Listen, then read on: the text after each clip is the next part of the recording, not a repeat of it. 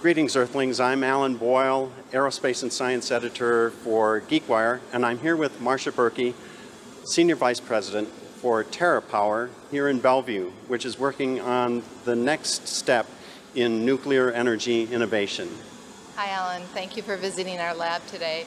You are in Bellevue at TerraPower's laboratory where we're doing innovative work in nuclear technology. We're advancing nuclear technology because we think it's scalable, carbon-free, baseload technology, but we're trying to innovate in areas that um, are holding nuclear back. So in areas of safety, economics, and waste. And we're standing in front of our fuel handling experiment. This is a commercial scale experiment where we're testing how the fuel um, is inserted and removed, whether it bends, bows, swells, so that we can control the reactor. So this is an example of how we're de-risking our design to be ready um, to demonstrate at commercial scale.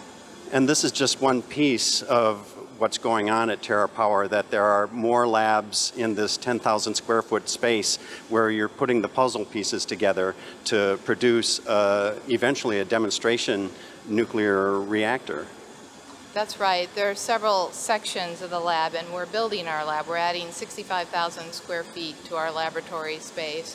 And we have a, two reactor technologies we're developing. One is the sodium fast reactor traveling wave reactor, and the other is a molten chloride fast reactor. Both reactors have their um, fuel in the core for long periods of time. So we're working on materials innovation here. We start in the computational simulation domain in a computer, and we have a supercomputer to do that. But then we quickly have to get into the laboratory, and this is a much more expensive part of the demonstration of our technology readiness levels. And to do that, we want to de-risk at each stage so that we're only really advancing to the next stage when we've eliminated options um, in, the, in, the, in the earlier experiments.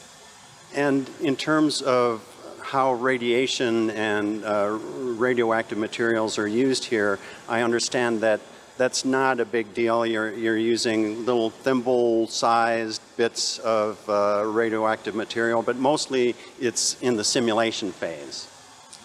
Um, the materials we're working with here are primarily surrogate materials. So, for example, we're not working with uranium on our fuel assemblies that we're testing in here. We're working with stainless steel.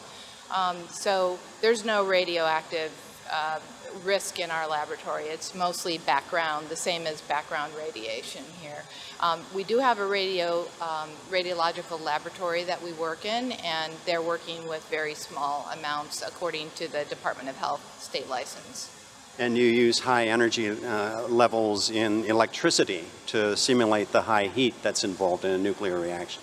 Yes, when we're testing things like flows in our um, molten chloride fast reactor, or erosion or corrosion, or materials on the traveling wave reactor, how things bend, bow, we're usually heating, we're always heating here in the laboratory with electricity.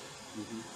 And what's the ultimate plan uh, for TerraPower? Uh, what do you hope to do? A lot of people have seen what's gone on with Fukushima and with other uh, nuclear issues, but I, I, think that what you're trying to do is to innovate to, to give people a different view of how nuclear energy works. Yeah, so that's exactly what we're doing. We're a, a nuclear innovation company and we're imagine if we hadn't innovated in cars or telephones for the last 50 years. So we're trying hard to take current computing, current materials, and modernize the way in which we've um, deployed nuclear technology.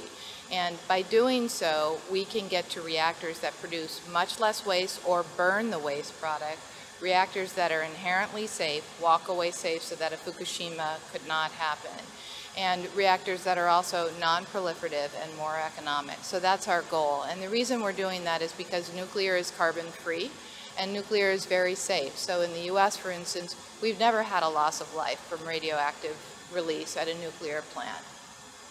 Well, thank you, Marcia. We've been with Marcia Burkey from TerraPower talking about the future of nuclear energy.